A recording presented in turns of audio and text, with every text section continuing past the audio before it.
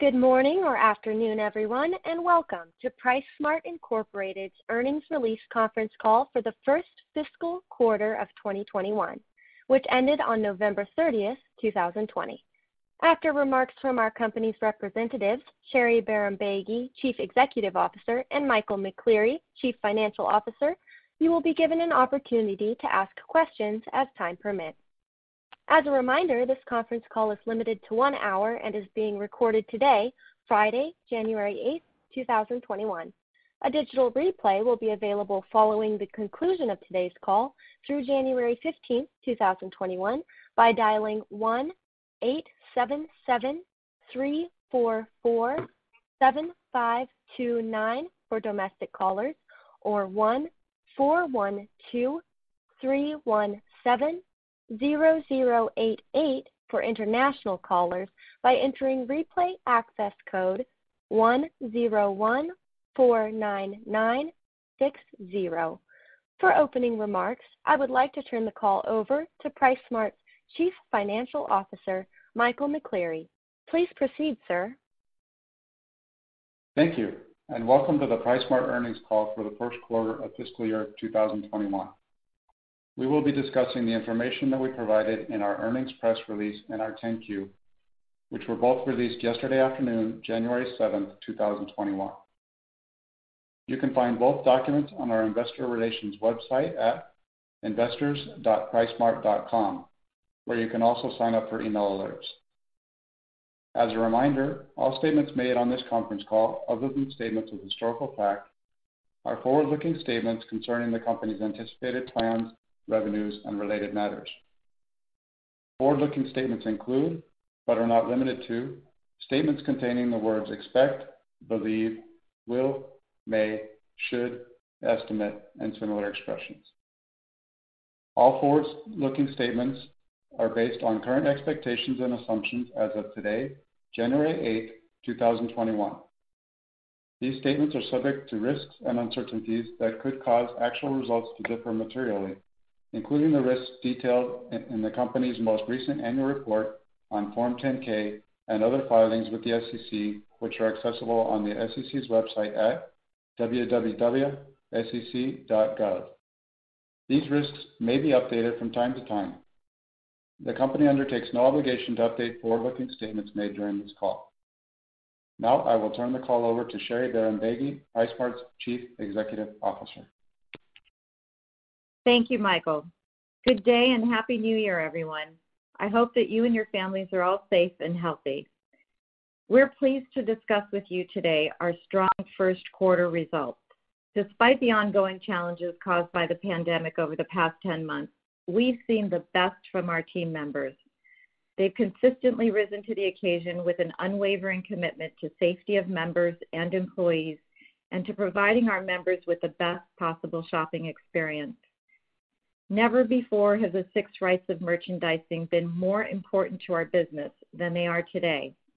This retail philosophy emphasizes having the right kind of merchandise in the right place, at the right time, in the right quantity, in the right condition, and at the right price. Our execution of operational efficiencies, vigilance, and discipline to these core principles is what has led us to the 7.7% growth in net merchandise sales and 3.6% growth in comparable net merchandise sales compared to the year ago period. Note that we had one additional club in operation as of November 30th, 2020, compared to the same time last year. During the quarter, we saw a gradual relaxation of COVID-related restrictions, which led to fewer club days lost compared to the prior sequential quarter, but we still experienced limitations on hours and numbers of people in the clubs.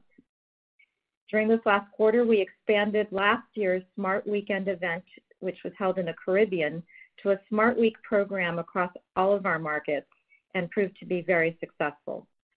We also strengthened our digital marketing efforts and social media engagement, which have enhanced our ability to quickly grasp valuable insights from our members and more readily share with them our exciting curated items and programs. As a result of these efforts, we've been able to provide our members with a great inventory mix and reasons to visit the clubs as the number of transactions and in-club traffic increased versus the prior sequential quarter. Driven in part by leadership changes in the merchandising area and restructuring over the last year, the hardlines team did a tremendous job of working with our suppliers, anticipating and reacting to changes in demand. As a result, our hardlines category experienced approximately 20% sales growth during the period compared to the prior year quarter. Leading this growth were electronics, which grew by 53%, sporting goods grew by 68%, and small appliances grew by 20%. On the food side, our buying team has done a fantastic job of ensuring our grocery, health and beauty, cleaning, and liquor departments all performed well, also with 6%, 11%, 10%, and 16% growth respectively. Now, we did have challenges during the quarter with seasonal and the toys departments, and we attribute this in part to our decision to scale back orders of these long lead time products at the beginning of the pandemic. In our grocery and fresh categories, we continue to see an increasing demand for healthier food options from our members. In an effort to meet this demand, we've invested in infrastructure that allows us to source high-quality fresh produce through our direct farm program. This program reduces costs and improves the quality and shelf life of our produce offerings while also supporting local farmers and industry in our market. This is also an important social priority for us. In addition, investments in our produce distribution centers have allowed us to provide farm-to-table produce quicker and more efficiently than we have in the past. We intend to continue to expand this program and open additional produce distribution centers throughout our markets. Although we've seen growth across most of our foods and fresh departments, a few categories lagged, such as candy, snacks, and juices. A real critical part of building on our value proposition and offsetting some of the impact of pandemic-related restrictions is the continued development of our omni-channel efforts. Our Click and Go curbside and delivery service, which represented 3.1% of our net merchandise sales during the quarter, is an important alternative for our members. Curbside pickup is available in all of our clubs in all of our markets, and we expanded delivery to all 13 markets in late October, up from just six at the end of August. Over the past several months, delivery has continued to become a larger portion of our total Click and Go sales. Our grocery, health and beauty, and cleaning departments have done well on our e-commerce platform. We continue to grow the number of active items available to purchase online, and we intend to build our online inventory to offer an expanded selection beyond what's available in the clubs. In addition, shoppers are responding favorably to our online platform for their memberships. 11% of all new sign-ups in Q1 were done online. One of the important benefits of this, having those sign-ups and renewals online, is that it provides the opportunity for auto-renewal and auto-payment. Over time, we expect that this will lead to more efficient membership acquisition and renewal. Our investments in technology and enhancements to our systems and software also allow us to make use of valuable membership data and feedback in real time. The inbound and outbound communication channels allow us to operate our business with better information and to make optimal merchandising and business decisions quickly. That's an especially important uh, uh, capability required in this environment. Turning to supply chain and inventory. Excuse me. Turning to supply chain and inventory, I just wanna recognize the tremendous job our team has done despite the continued challenges we faced. I had the pleasure of visiting our distribution center workers in Miami the week between Christmas and New Year's, and they were hard at work committed to ensuring we're running as smoothly as possible. What the team has done to secure alternatives, including quality local sourcing to minimize out of stock and key items and hedge against currency volatility is remarkable. Due to the significant surge in demand in many of the categories we've discussed, we've seen some shipping container shortages at the point of origin out of Asia, and we've had some slowdown in supply flow in Central America due to the devastating hurricanes Eta and uh, Iota. We expect to be able to work through these challenges and continue to identify and develop local high-quality inventory alternatives as needed. We continue to increase our focus on inventory management. Increased SKU discipline and order management has helped reduce our average inventory per club in the first quarter by an average of approximately $500,000 per club versus the comparable prior year quarter. Markdowns were significantly less this quarter compared to the same period last year, and our inventory was clean, far less in terms of spoilage. We were the place to go for many non-food categories in our markets as our competitors weren't able to source the same level of merchandise in those areas, such as laptops, tablets, and televisions. We've also expanded our offering of high-quality, high-value private label Member Selection products. Private label will continue to be a focus area given the ability to offer high-quality merchandise at lower prices and given the impact of our brand value in our markets. Especially during this last quarter, we appreciated more than ever that we have optionality with our in-country distribution centers. This has proven to significantly mitigate supply chain disruption risk. Now turning to membership. Our total number of membership accounts decreased 3.8% during the first quarter of fiscal year 2021 when compared to the comparable prior year period.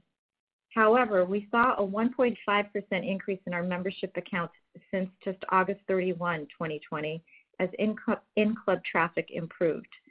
Our trailing 12-month renewal rate was 81.9% and 86.1% for the periods ended November 30, 2020 and November 30, 2019, respectively. Historically, our members would renew their membership at the register, and due to the pandemic, traffic has slowed down. Colombia had the largest membership percentage decline, followed by Central America and the Caribbean. However, our 81.9% trailing 12-month renewal rate has improved significantly from the low of 80.5% at the end of August as restrictions have eased up.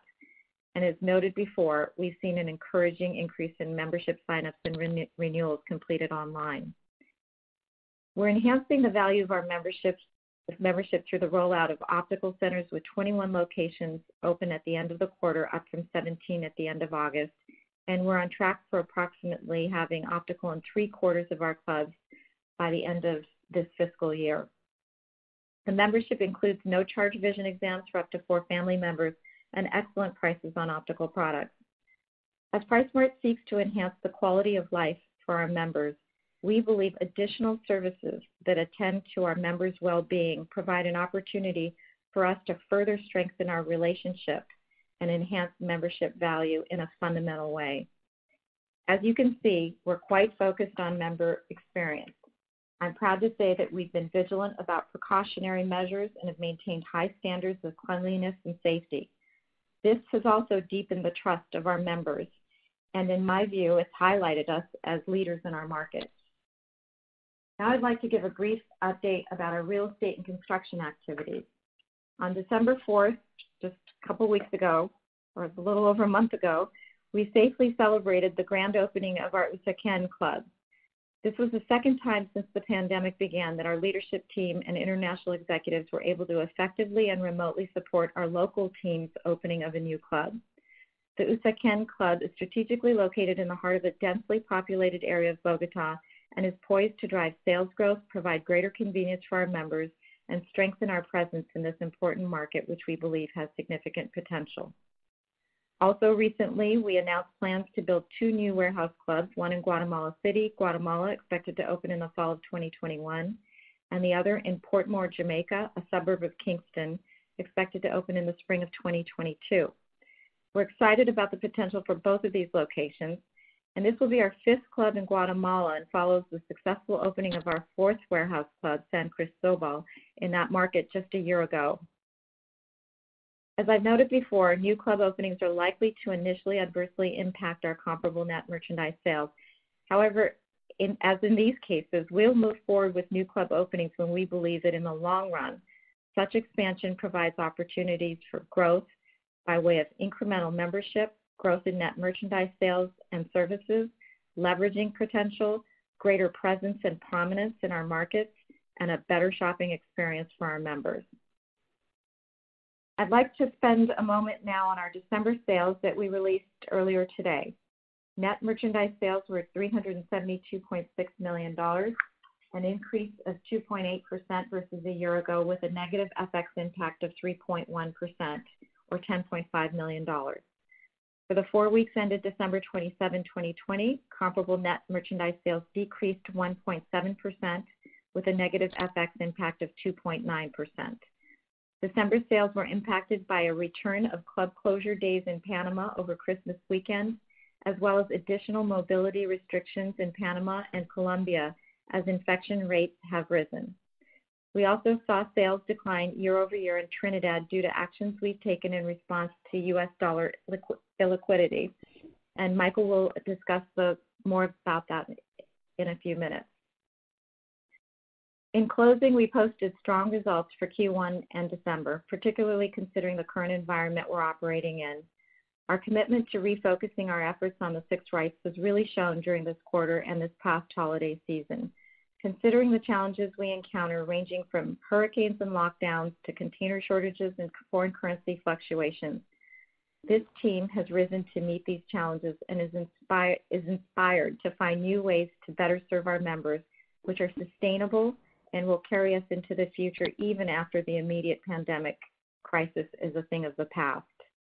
We know our members' consumption patterns and priorities will continue to evolve, and as we look forward to the future, we believe we have the know-how, the capabilities, and the team to anticipate, react, and rise to our members' expectations. We have the talent, resolve, and hardened commitment to our members, the markets we serve, and to this company, and we have loyal members who really count on us as a trusted source of goods and services. A lot of families depend on us, especially in times like this, and we take that responsibility to heart. We're well-positioned to propel our business forward, and that is to the credit of our wonderful team of over 10,000 employees, who I sincerely thank for their stellar performance. Thank you, and I'll now turn the call over to Michael. Thank you, Sherry. Good morning or afternoon to everyone, and thanks for joining us today. Before I begin, I would like to take this opportunity to also thank our team members for their tremendous efforts and selflessness during this past quarter and holiday season. Our results are a reflection of that hard work and determination. Total revenues and net merchandise sales for the quarter were $877.4 million and $838.4 million, respectively, representing increases of 8.1% and 7.7% over the comparable prior year period, respectively. As a reminder, including the club we opened in Liberia in June 2020, we ended this quarter with 46 warehouse clubs compared to 45 warehouse clubs at the end of the first quarter of fiscal 2020. Our comparable net merchandise sales growth was 3.6% for the 13 weeks ended November 29, 2020. Foreign currency fluctuations had a negative impact on both net merchandise and comparable net merchandise sales of approximately $27 million or 350 basis points. By segment, in Central America, where we had 26 clubs at quarter end, including three open since October 2019, net merchandise sales increased 6.2% with a 0.7% decrease in comparable net merchandise sales. Our Honduras, El Salvador, and Nicaragua markets contributed approximately 150 basis points of positive impact to total comparable net merchandise sales, despite the impact from the two hurricanes that hit the region during the quarter. This contribution was offset by 190 basis point decrease coming from Panama, Costa Rica, and Guatemala. Panama and Guatemala experienced sales transfers from recent club openings in those countries during the quarter, and a devaluation in the Costa Rican colon resulted in sales decreases in that country versus the comparable period in the prior year. In the Caribbean region, where we had 13 clubs at quarter end, total net merchandise sales grew 10.1%, with comparable net merchandise sales growth of 9.9%. Most of our markets in the Caribbean showed double-digit comparable sales growth when compared to the same period in the prior year, with Trinidad and the Dominican Republic contributing 270 basis points to our total comparable sales growth.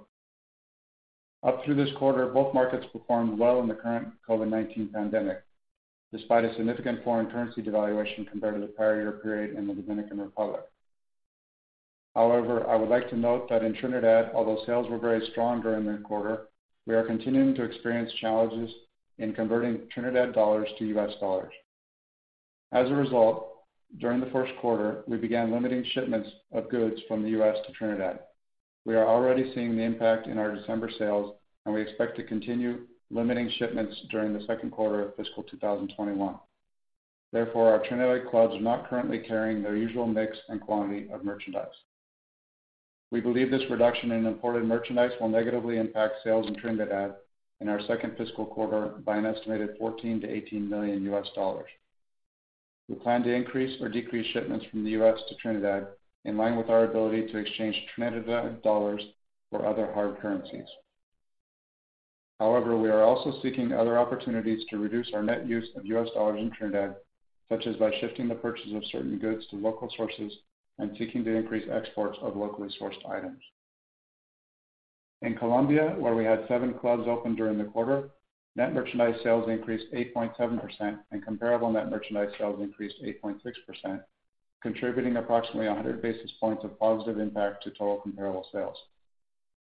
Average ticket growth compared to the prior year three-month period is the primary driver of the increase in Colombia, as COVID-19 restrictions led to members buying more merchandise and fewer trips to our warehouse clubs compared to the prior year period. The impact of currency on total and comparable net merchandise sales in Colombia was significant, at -10.7 and 10.5% respectively for the quarter. Currency devaluation continues to be a challenge in Colombia, but we are employing different approaches in an effort to mitigate the impact, such as sourcing of locally produced goods and actively managing our foreign currency exposure there. Turning to total gross margins. Total gross margin on net merchandise sales came in at 16.1%, a 120 basis point improvement over the same quarter last year. The 120 basis point increase was primarily driven by a 60 basis point increase from certain pricing actions we took to offset foreign currency exchange costs and risks. In particular, we have implemented a liquidity premium in Trinidad on our US imported items. The other 60 basis points increase came from more focused merchandising strategies and inventory management. Total revenue margins increased to 18% of total revenue, an increase of 110 basis points versus the same period last year. This is the result of the higher total gross margins of 120 basis points that I mentioned previously, and higher revenue margins from our Heroes and Marketplace business in the quarter of 20 basis points. Excuse me. Partially offset by 20 basis points from lower membership income and 10 basis points from fewer margin dollars as a percentage of total revenue from our export sales business. Selling, general, and administrative expenses for the quarter were 12.9% of total revenues, a decrease of 20 basis points versus the same period last year. In total, SG&A expenses increased $6.7 million compared to the prior year, but decreased as a percentage of total revenue. Warehouse club and other operations expenses contributed 10 basis points of the decrease as a result of lower warehouse club operation expense ratios across all of our markets. General and administrative expenses contributed the other 10 basis points of the decline. The overall improvement is primarily a result of leveraging our consolidated revenue growth. However, we continue to make investments to support our technology and talent development. Operating income was $44.5 million, or 5.1% of total revenue in the first quarter of fiscal 2021, compared to $30.7 million, or 3.8% of total revenue for the same period last year. This reflects the increase in total revenue margin, primarily from net merchandise sales of 110 basis points and a 20 basis point increase due to leveraging our SG&A expenses over the comparable prior year period. Net interest expense increased $1.2 million for the first quarter, primarily due to higher average long-term loan balances to fund our capital projects and drawdowns on our short-term lines of credit as part of our COVID-19 related efforts to secure cash. Other expenses of $1.5 million are primarily from costs to convert Trinidad dollars into other tradable currencies and a strengthening of the Jamaican dollar due to our US dollar-denominated cash reserves designated to fund the construction of our new Portmore club. Our effective tax rate for the first quarter of fiscal 2021 came in slightly higher than last year at 32.9% versus 32.2% a year ago. In our Q4 fiscal 2020 conference call, we estimated that our full year fiscal 2021 effective tax rate would be 35%. However, due to our strong Q1 results, we now expect the full fiscal year 2021 effective tax rate to be approximately 34%. Net income for the first quarter of fiscal 2021 was $27.7 million, or $0.90 per diluted share, compared to $19.7 million or $0.64 per diluted share in the comparable prior year period. Our balance sheet remains very strong. We ended the quarter with cash equivalents, and restricted cash totaling $212.4 million, an increase of $97.3 million versus the same period a year ago.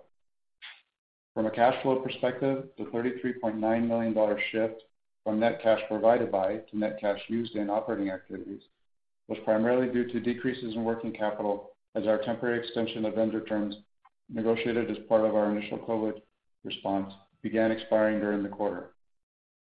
It is important to note that many of these extended vendor terms will continue to revert to pre-COVID terms during the second and third quarters of fiscal 2021. Our experience with the temporary vendor term extensions has provided an opportunity to revisit terms on a more permanent basis.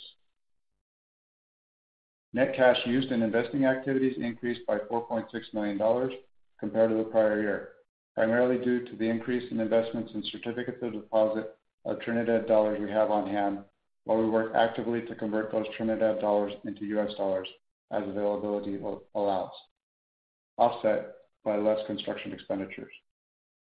The $59.5 million change from cash provided by to cash used in financing activity is primarily the result of a net decrease in proceeds from long and short-term borrowings. We continue to be vigilant about our cash position and sensitive to any changes in circumstances.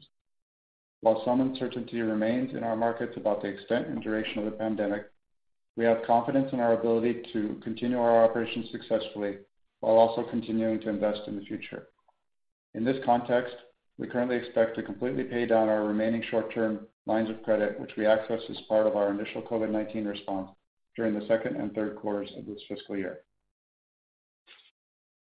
To wrap up, we are very pleased with our strong start to fiscal 2021. We believe our commitment to the six rights of merchandising and the investments that we are making in talent, real estate, and our digitally enabled omni-channel platform have positioned us well for the future. In addition, our balance sheet, liquidity, and cash flow remain strong, providing a solid foundation for driving same-store sales and future growth, which we believe will benefit our members and stockholders alike. Thank you all for your support during these times of uncertainty. We believe that we are on the right path for continued success. I will now turn the call over to the operator to take your questions. Operator, you may now take our callers' questions. We will now begin the question and answer session. To ask a question, you may press star then one on your touch-tone phone. If you are using a speakerphone, please pick up your handset before pressing the keys. To withdraw your question, please press star then At this time, we will pause momentarily to assemble our roster.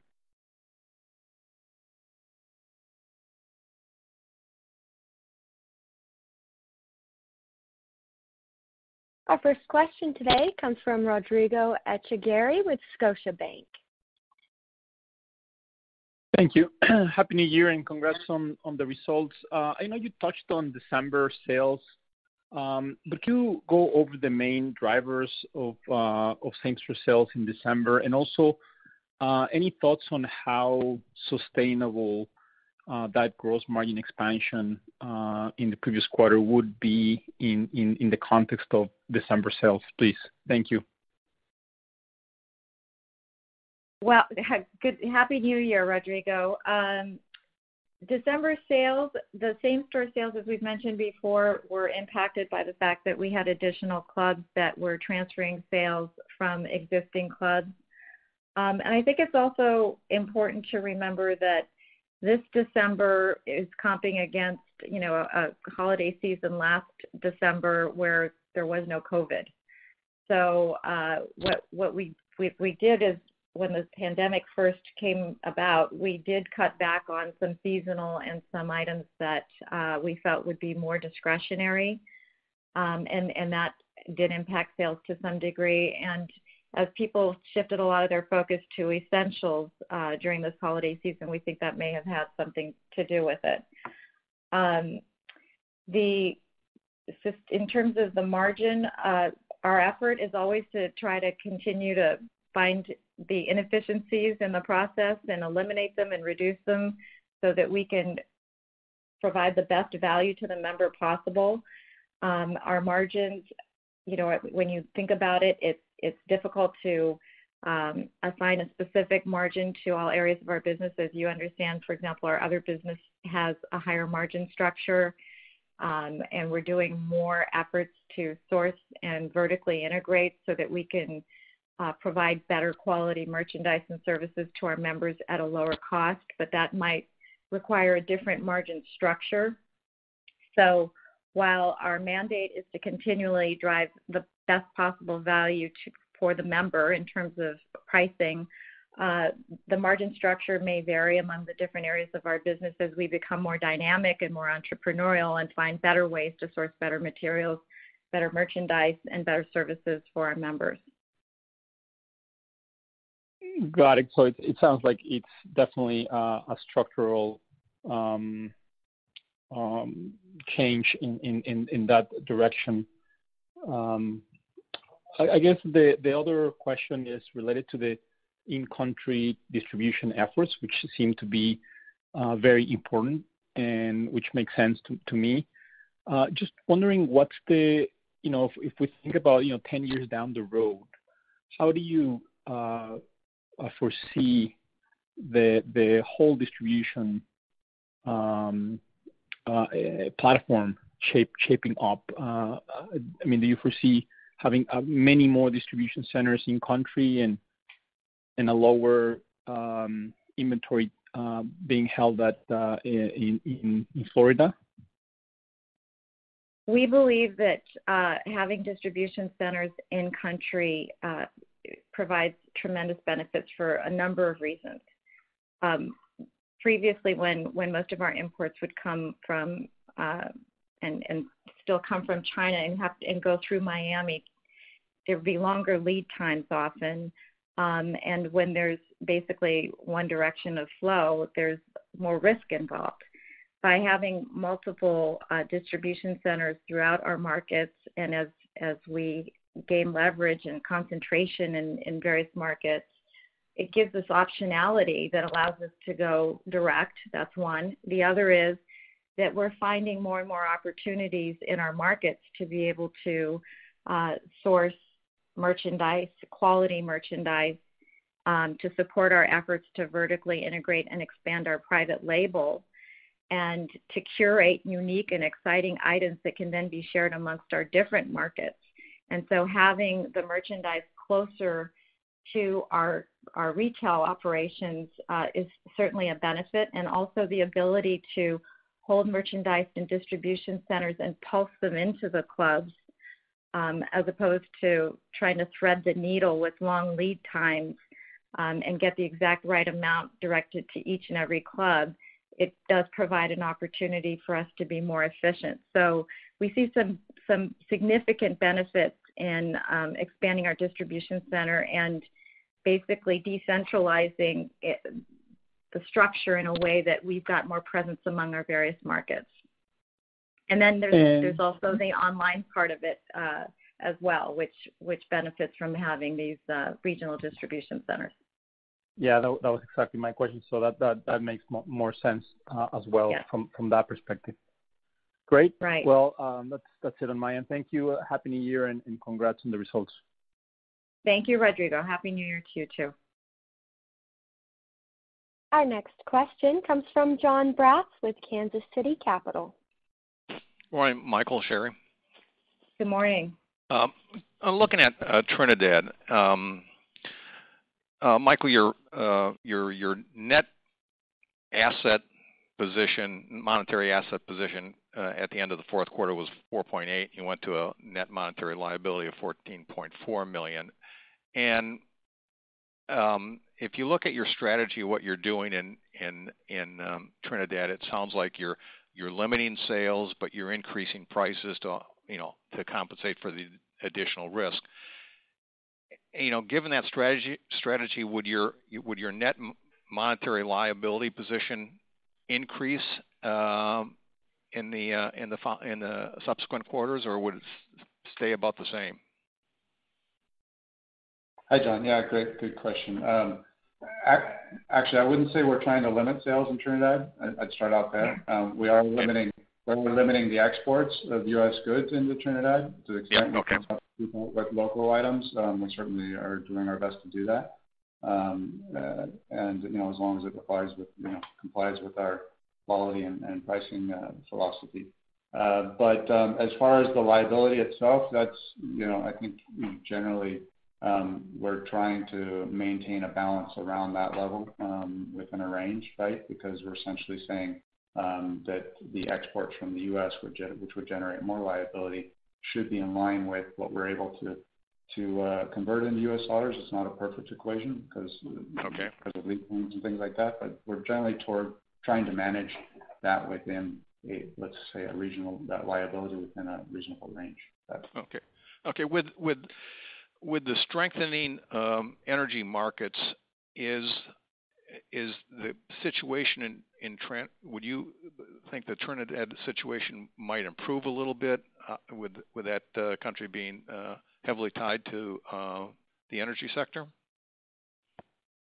Certainly, that's that's their number one source of U.S. dollars is energy sector. There's several different levels of of the energy sector that they participate in. And so um but uh yeah, definitely, raising, you know, rising consumption and rising prices in the energy sector should definitely help. At the same time, as I mentioned, we're also looking to increase, you know, our ability to export. Yeah. Um, Goods out of Trinidad. If we can buy them in Trinidad dollars and export them to other markets and sell them in U.S. dollars, that gives us more U.S. dollars to be able to import merchandise uh, to sell in our clubs. Yep. Yep. Okay. Okay. Uh, on the gross margin front, um, eh, um, related to Trinidad, that was up. That accounted for about, you said, uh, about 50 basis points improvement in your overall gross margin. With the strategy in place the way it is, would you continue to expect uh, a bump in consolidated gross margins related to your actions in um, in Trinidad? Yeah. I mean, it's obviously kind of anathema to the business model to be to be charging this premium, but also at the same time, we're facing a risk here that we haven't. Uh, yes. Faced once before. Uh, But generally, we thought it was prudent to price ahead of it. Um, so, you know, hopefully, as long as the... Uh, we thought it was important to call it out as a component because to the extent that this situation ends up resolving itself, then we would hope that that premium would go down. Um, but uh, we do foresee it for the foreseeable future until the situation starts to rectify itself. Okay. One last question. Sherry, um, you mentioned in December there were some some additional lockdowns, if you wanna call it, and uh, things that restricted your hours of um, operation. Has that improved or worsened as we moved into the new year? Have things changed at all? Uh, it varies from market to market, but we are seeing additional, uh, as a result of a rise in cases, additional restrictions. For example, governments have been um, keeping people home, especially because of the holidays for Christmas and New Year's that whole weekend. Uh, a couple of our markets restricted people from any circulation. Mm-hmm. Um, we're concerned about large gatherings and and rapid spread. Yep. Uh, we see this as an ongoing um, dynamic that we just have to be prepared for and and utilize our alternative modes of shopping and different ways to uh, get merchandise to our members. But it's certainly it's not resolved here, and it's not resolved there. Um, so it's still an ongoing dynamic. Okay. Is it is it more uh, Panama and Colombia um, that has been impacted the most? That's where we've seen it the most, yeah. Okay. Okay. All right. Thank you, Sherry. Thank you, John. This concludes our question and answer session, and I'd like to turn the call back over to Sherry Bahrambeygui for any closing remarks. Just wanted to thank everyone for uh, your steadfast commitment and uh, to our company, and most especially to thank our employees who have really demonstrated um, a tremendous commitment to each other and to taking care of our members. So, wishing everybody uh, a good start to the new year. The conference has now concluded. Thank you for attending today's presentation. You may now disconnect.